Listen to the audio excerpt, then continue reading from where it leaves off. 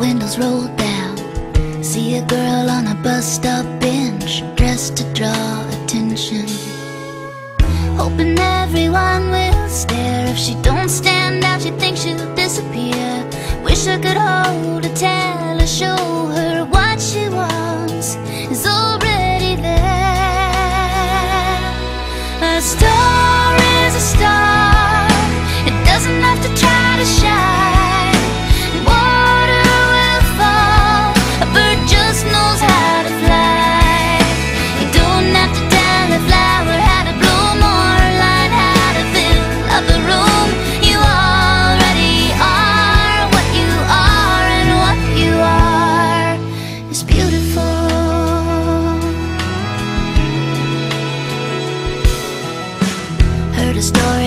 other day took place at the local VA.